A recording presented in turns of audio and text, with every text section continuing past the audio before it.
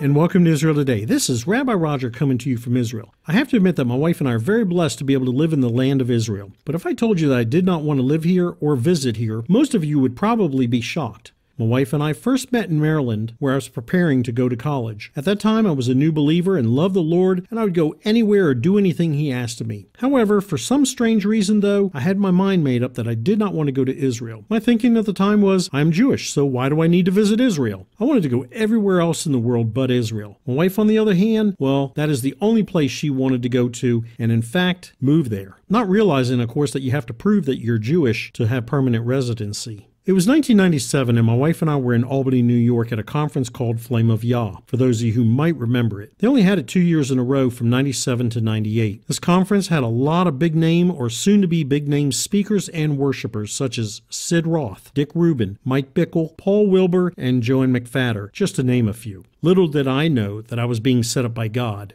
At the first conference, there was a man who was speaking about Israel and told everyone, if you have a heart for Israel, then come on down here so I may pray for you. Well, it was a no brainer for me. Of course, I have a heart for Israel. After all, I'm Jewish. Remember? If I'd known what was coming next, I probably would not have gone up there, but being the obedient, dumb sheep that I am, I followed the rest of the flock and stood in line. When it was my turn to be prayed for, all I know is that I went down wailing like a baby. I never had that happen before, and I've never had that happen since. On top of that, I do not know how long I was on the floor sobbing, maybe 30, 45 minutes, or even an hour. When I was finally able to start composing myself a bit, starting to sit up, one of the young men that worked there comes over, lays his prayer shawl on me, and starts telling me that God is commissioning me from that day forward, that I'm going to Israel, and to top it off, he even broke anti Semitism off of my parents. Okay, I'll take the commissioning part, but the other two items, well, this guy surely has missed it and is a false prophet in my book, or so I thought. So I did the right thing, got off the floor, took his prayer shawl back to him, and questioned him about my parents being anti Semitic. I told him, I'm Jewish and so are both my parents, so why would you break anti Semitism off of them? He looks at me and asks, Do they know Jesus? I said, No. Then they're being anti Semitic, he said. I've never forgotten our conversation because his answer put me on tilt for a very long time and because of his dead on accuracy.